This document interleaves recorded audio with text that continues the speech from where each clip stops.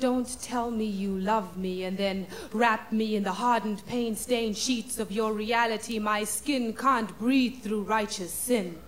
I have tasted my own blood. It is not sweet. It does not bring me closer to soul. It does not bring me strength. So don't tell me you love me. Don't talk sugar to me.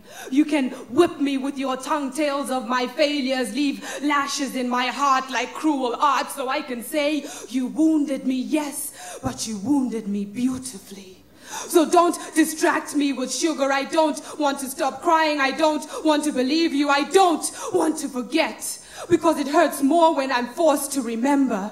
So let me stay here in this place where bruises are my buildings I live in daily and my tears create crystallized towers, magnificent structures of torture in my brain, allowing me to hold on to the pain. It's easier that way. Just don't tell me you love me. Don't send me chocolate gift boxes to fatten my soul for your killing. Give me instead countless bruises so I can spend hours of mirrored contemplation, counting, counting, and even after I've carefully mentally labeled each mark, I discover new monuments of pain with every turn as I twist in sleep. So don't tell me you love me and send me flowers. My eyes are tear-stained, inflamed, unseeing. I can't respond to your sugar, even as it drips like honeyed milk on my tongue, awakening hungers for a paradise I once thought was mine.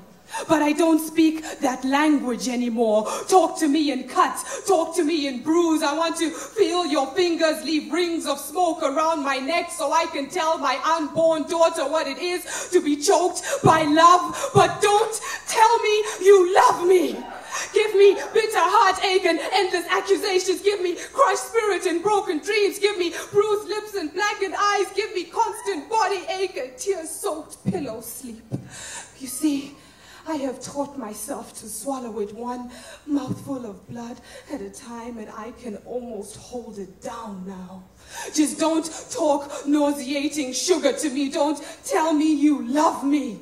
You can crucify me in unholy sacrifice at the bleeding altar of all the wrongs you say make me worthy of this torture. And you can slap me down and call me that whore, that biblical Jezebel whore. But just don't don't tell me that you love me anymore.